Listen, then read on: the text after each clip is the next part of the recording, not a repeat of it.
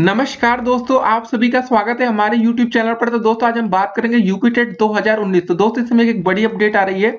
लो आ गई बड़ी खबर। जी हाँ दोस्तों, किसी का नंबर बढ़ेगा तो किसी का घटेगा भी।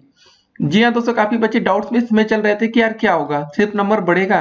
देखिए, होगा क्या दोस्तों? अगर किसी बच्चे का प्लस वन होगा तो किसी का माइनस वन भी हो जाएगा। देखिए ऑब्जेक्शन फ़ाइल करेंगे। जब आप लोग आपत्ति दर्ज करेंगे तो होगा क्या? इसको हम आपको बता दें। देखिए दोस्तों, छह प्रश्नों पर आपत्ति दर्ज होने की बात चल रही है। अगर मान लेते किसी का दोस्तों पहले विकल्प नंबर ए सही था, अगर दोस्तों आप ऑब्जेक्शन फ़ाइल करते आपत्ति दर्ज कराते उसके बाद उसका विकल्प अगर बी सही हो जाएगा। ठीक है, समझ जाइए खाली।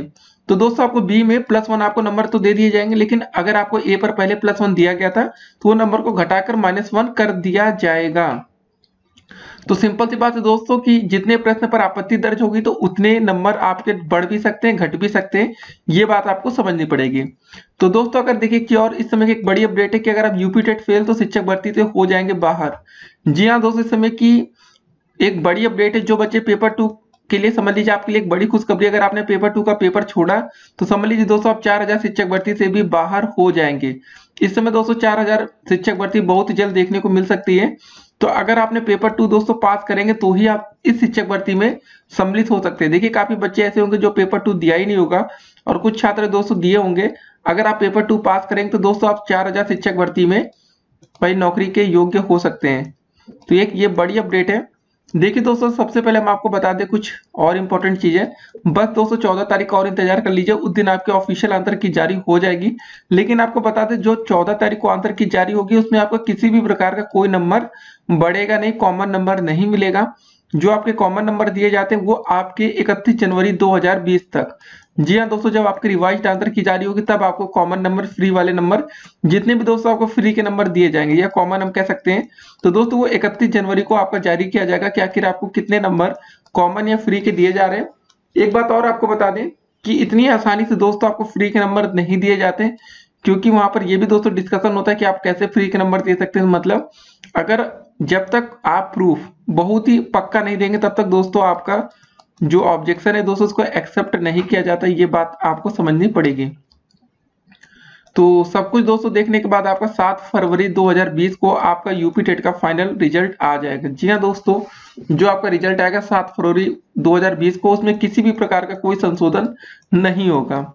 जो दोस्तों होने वाला आपका इकतीस जनवरी तक आप जितने भी ऑब्जेक्शन फ़ाइल करेंगे, प्रति प्रश्न आपको पाँच सौ रुपए देना होगा, ये बात भी हम आपको कंफर्म कर दें। अगर आप ऑब्जेक्शन फ़ाइल करने जा रहे हैं तो आपको पाँच सौ रुपए एक प्रश्न के लिए देने पड़ेंगे।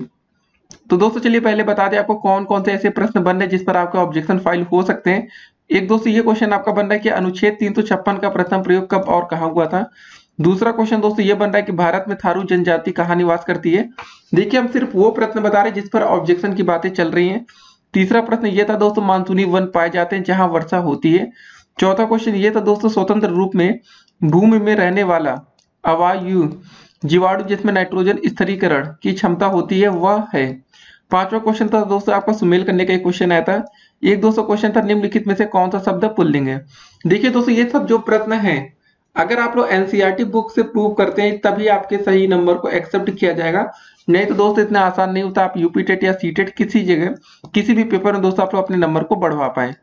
तो सबसे आसानी से जो नंबर बढ़ते दोस्तों बता दें, आपको मैथमेटिक्स होता है। अगर मैथ में आप उसका सही स्पष्टीकरण दे देंगे तो वो नंबर बहुत ही आसानी के साथ बढ़ा दिया जाता है। लेकिन दोस्तों, बात यूपी टेट और सी टेट में हो तो मैथ में दोस्तों, आपको सिर्फ़ उसका जो हल है उसको देना ही पड़ता है स्पष्टीकरण के साथ। लेकिन दोस्तों, ये भी शो करना पड़ेगा आपकी कौन से मेथड से आपने सॉल्व किया क्योंकि जो आंसर पहले से दोस्तों आता है, वो भी तो कहीं ना कहीं से सॉल्व करके ही आता है ना। तो उसके बाद दोस्तों बात आती है, जैसे बाल विकास शिक्षण अधिगम हो गया, हिंदी हो गया, संस्कृत, इंग्लिश हो गया। और पर्यावरण अध्ययन हो गया। दोस्तों, ये सब सब्जेक्ट्स में आपके नंबर कैसे बढ़ते हैं? जब दोस्तों आप उसका प्रूफ एनसीईआरटी या एससीईआरटी बुक से लेके आएँगे तो उसके नंबर को बढ़ा दिया जाता है। अब दोस्तों, चलिए पहले हम इस पर डिस्कशन कर रहे थे। अगर आप पेपर टू पास है तो आपके लिए बड़ी खुशखबरी कैसे बनती है, ये आपको बताते हैं। देखिए, पहले ये बात भी हम आपको कन्फर्म करें, अगर आपने पेपर टू छोड़ा है तो आपने एक बड़ी गलती भी कर दी है इस बार। ठीक है ना? पहले दोस्तों, इस वीडियो को अभी आप लोग अगर अभी तक किसी को शेयर ना किया तो अपने दोस्तों के साथ व्हाट्सएप ग्रुप में इसको शेयर करके बता दीजिएगा कि किन किन प्रश्नों पर आपके ऑब्जेक्शन फ़ाइल होने वाले हैं। दोस्तों, ये सब प्रश्न है। उसके बाद दोस्तों, और भी जो लिस्ट बढ़ती जाएगी, हम आपको अपडेट करते चलेंगे कि कितने और प्रश्न नए ऐड होने वाले जिस पर ऑब्जेक्शन फ़ाइल होगा। तो दोस्तों, देखिए, अगर आप फेल हैं यूपी टेट तो आपके पास दूसरा ऑप्शन है। अगर आप सीटेट पास कर रखे तो आपके लिए किसी प्रकार की कोई दिक्कत नहीं होगी। क्योंकि दोस्तों, देखिए, काफ़ी छात्र ऐसे होंगे, श्योर है कि पेपर टू का पेपर छोड़ दिए होंगे। लेकिन यहाँ पर पेपर टू का पेपर काफ़ी ज़रूरी होता है, ये बात आपको समझना पड़ेगा, क्योंकि कुछ शिक्षक भर्तियाँ दोस्तों ऐसी आती है, अगर आप पेपर टू पास नहीं है तो आप उस शिक्षक भर्ती में पार्टिसिपेट नहीं कर पाएँगे। तो दोस्तों यूपी में जो अपकमिंग वैकेंसी है, उसमें दोस्तों चार हज़ार शिक्षक भर्ती की बात हो रही है। अगर दोस्तों ये शिक्षक भर्ती जुलाई से पहले आ जाती है, इसको समझिए आप लोग। तो आपका जो सीटेट का पेपर होगा सीटेट जुलाई में होगा। सीटेट 2020 की दोस्तों जो बात हो रही है, वो सीटेट जुलाई में आपका पेपर होगा। अगर जुलाई से पहले ये वैकेंसी आएगी तो अगर आपके पास यूपीटेट या सीटेट पेपर टू अगर आपने पास कर रखा तो इस शिक्षक भर्ती में आप भाई आवेदन कर पाएँगे। अगर नहीं कर रखा तो सीधे तौर पर इस शिक्षक भर्ती से फ़िलहाल आप बाहर हो जाएँगे।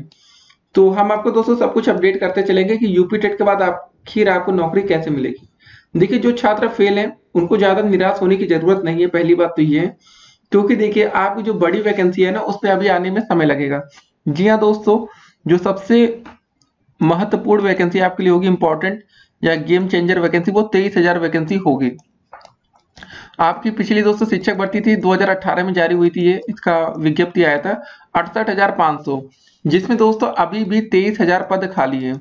तो दोस्तों, अभी तक इस पर सही से मतलब सिंगल बेंच का फैसला तो आ गया है कि तेईस हज़ार पद जो है, उसको कटाप कम करके भरा नहीं जाएगा। ये बात तो दोस्तों स्पष्ट है हाई कोर्ट की तरफ़ से। मामला डबल बेंच में जाएगा, लेकिन दोस्तों बहुत ही जल्दी इस केस का फाइनल निपटारा हो जाएगा। तो मतलब दोस्तों ये साफ़ है, अगर आप यूपी टेट पास नहीं है, जैसे मान लेते अगर आप फेल हो गए दोस्तों आप लोग बिल्कुल निराश मत होइए कि आपका सब कुछ खत्म हो गया दोस्तों सबसे बड़ी वैकेंसी अब तक शिक्षक भर्ती में यही आएगी, क्योंकि दोस्तों जो आनी थी बड़ी वैकेंसी वो आ चुकी है। जो बची है तो सबसे बड़ी शिक्षक भर्ती दोस्तों आपकी यही होगी। अभी केवीएस की आने वाली है तो कभी 6000 की बात हो रही कभी 8000 शिक्षक भर्ती है कुछ ऐसे पद आ सकते हैं। लेकिन दोस्तों, ये जो शिक्षक भर्ती आएगी आपकी तेईस हज़ार वाली, इसमें दोस्तों आपके बीटीसी के छात्र रहेंगे डीएलएड के रहेंगे मतलब नाम तो एक ही है। प्लस आपके दोस्तों बीएड के छात्रों को आवेदन का पूरा मौका दिया जाएगा। मतलब दोस्तों बीटीसी वर्सेस बीएड सीधे मुकाबला होगा। तो ये सबसे बड़ी शिक्षक भर्ती अगर आप मान लेते यूपी टेट में पास नहीं हो पाए तो अभी आपके पास मौका है। जी हाँ दोस्तों, मौके पर आप, आपको चौका मारना है। अभी इसको आने में समय लगेगा। जी हाँ दोस्तों, एक साल के अंदर ये वैकेंसी देखने को मिलेगी। एक दो महीने में नहीं आने वाली, साल भर का भी आपको इंतज़ार करना पड़ सकता है इस वैकेंसी के लिए। लेकिन दोस्तों, पूरी उम्मीद है कि 2020 के अंत तक ये वैकेंसी देखने को मिल सकती है। तो आपके पास सबसे बढ़िया ऑप्शन होगा सीटेट जुलाई 2020 सीटेट की तैयारी करिए प्राइमरी लेवल पास कर जाइए। जो ये वैकेंसी है, तेईस हज़ार दोस्तों ये प्राइमरी लेवल के लिए। तो मतलब बहुत ही अच्छी वैकेंसी दोस्तों, हम कह सकते हैं इसको। बीटीसी बीएड सबको मौका मिलेगा। खाली आपको मौके पर चौका मारना है। तो अभी से इसके लिए तैयारी में आपको जुट जाना है कि जुटना है कि कैसे तैयारी करें, कैसे आगे का प्रोसेस होगा, वो सब कुछ दोस्तों हम आपको अपडेट करके बताते रहेंगे। फ़िलहाल, अगर आपका यूपी टेट पास नहीं हो रहा नंबर ज़्यादा कम हो रहे हैं तो उसको लेकर बिल्कुल आप चिंतित मत हुई क्योंकि जो बच्चे अभी पास भी हो जाएँगे तो उनके लिए इतनी बड़ी वैकेंसी अभी नहीं आएगी। तो इसको आने में लगभग छह महीने से ज़्यादा का समय लगेगा तो दोस्तों सिंपल सी बात है यार, छह महीने आपके पास टाइम है, जिससे आप सीटेट पास करके इस शिक्षक भर्ती तक पहुँच सकते हैं। तो तैयारी में दोस्तों आप लोग लगे रहिए, अगर आपके नंबर ज़्यादा कम हो रहे हैं। तो फ़िलहाल दोस्तों बता देते इस वीडियो के अंत में कितने नंबर आपके बढ़ सकते हैं। देखिए दोस्तों यूपी टेट दो में दो से तीन नंबर का बदलाव देखने को मिला था। एक ही और आपको दोस्तों बता दें यूपी टेट में कुछ बड़ी अपडेट्स आई थी। कुछ छात्र ऐसे थे जो पहले पास हो गए थे।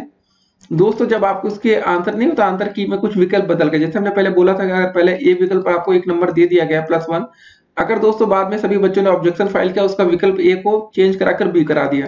तो ए वाला नंबर तो फिर नहीं दिया जाएगा ना, फिर तो बी वाले को प्लस वन दिया जाएगा।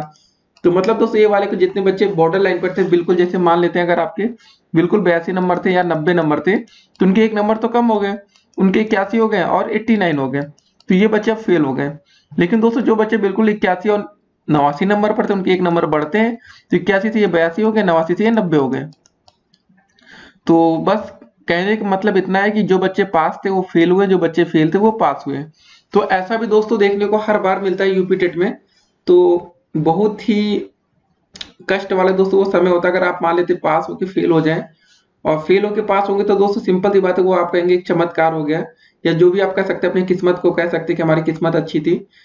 तो दोस्तों, ये सब चीज़ें होती रहती यूपी टेट में तो आपको हमेशा लगे रहना, अगर आप बिल्कुल बॉर्डर लाइन पर है तो आपको ये सोचना है कि क्या सेफ़ है या नहीं। जो बच्चे देखिए, कि हम आपको कंफर्म कर दे इस वीडियो के दौरान, अगर आपके, समझिए दोस्तों, अगर आपके सेवेंटी नाइन से लेके 80 नंबर 81 है। तो दोस्तों, आपकी पूरी संभावना है। जी हाँ दोस्तों 99 परसेंट श्योर है कि आप बयासी तक पहुँच सकते हैं।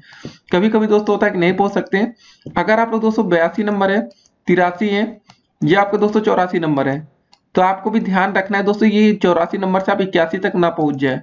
क्योंकि यहाँ पर दोस्तों लाखों छात्रों का जुट मतलब नहीं होता, एक एकजुट हो जाते हैं।